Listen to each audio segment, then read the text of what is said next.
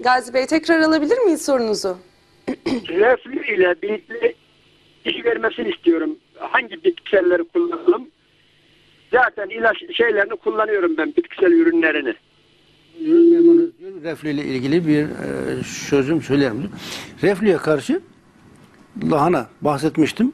Gastrit, ülser, reflü iyi gelir. Bir de laden gülü var. Türkiye'nin Ege, Akdeniz, Marmara bölgesinde ormanlarda yetişir. Bununla ilgili klinik araştırması yapılmıştır. Anadolu Üniversitesi. Gastrit ülseri olan hastalar üzerinde denenmiş, klinik araştırma belgelenmiştir. Gastrite iyi geldi. Artı Almanya'da Saarland eyaletinde Profesör Doktor Günter Wiese atopik ekseması olanlar üzerinde, çocuklar üzerinde denemiş.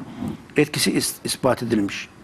Laden gülü. Neden gülünü? Ha, tonik yani lahana suyu da iyi gelir. Tonik e, çok özel bir formül geliştirdik biz buna. Kullanırsa fakat şöyle reflü tetikleyen sebep mide asidinin bozulması. Bazıları diyor ki ya mide asidi çok olduğu için reflü oluyor. Hayır, mide asidi sert olduğu için, çok olduğu için değil. Yemek sırasında tüketilen sıvı mide asidini bozduğu için midede bir gaz meydana geliyor. Bu da mide asidini Asit yukarı doğru sıkıştırıyor. Evet. Bu nedenle yemekten önce 15-20 dakika önce yemek sırasında yemekten 2 saat sonra sıvı tüketilmezse reflü zaten kendiliğinden geçer. Çok ağır vaka değilse. Peki eğer birazcık daha durum değilse. ağırlaştıysa hangi Yani bitkilerden ameliyatlık durumda değilse burada? lahana iyi Tekrardan. gelir, ladengül iyi gelir. Problem değil. Yani çok kolay. Ama burada önemli olan yemek sırasında sıvı tüketmek.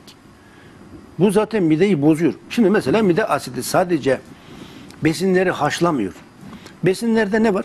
Bakteri, virüs, mantar, parazit, larva gibi mikroplar olabilir. Yani mesela maydanoz yedik veya lahana ve elma armut ve et yediniz. Her şeyde Hepsinde bakteri, virüs, mantar, parazit, larva vesaire var. Her şey olabilir.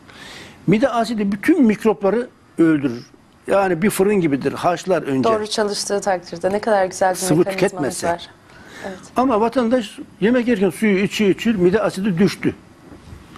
Mikroplar ölmez. Bakteri, virüs, mantar, larva hiçbir şey ölmez. Ölmezse ne yapar?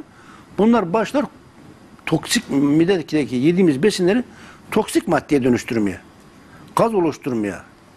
Peki Ve yemek sırasında, öncesinde ve sonrasında biraz ara vereceğiz ve su içmeyeceğiz. Evet, sıvı. Ee, leden gülünü nasıl kullanacağız? çay içilir.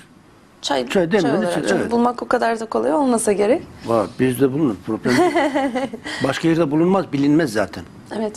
Bilinmiyor, bulunmuyor. Avrupa'da mesela eczanelerde 55 euro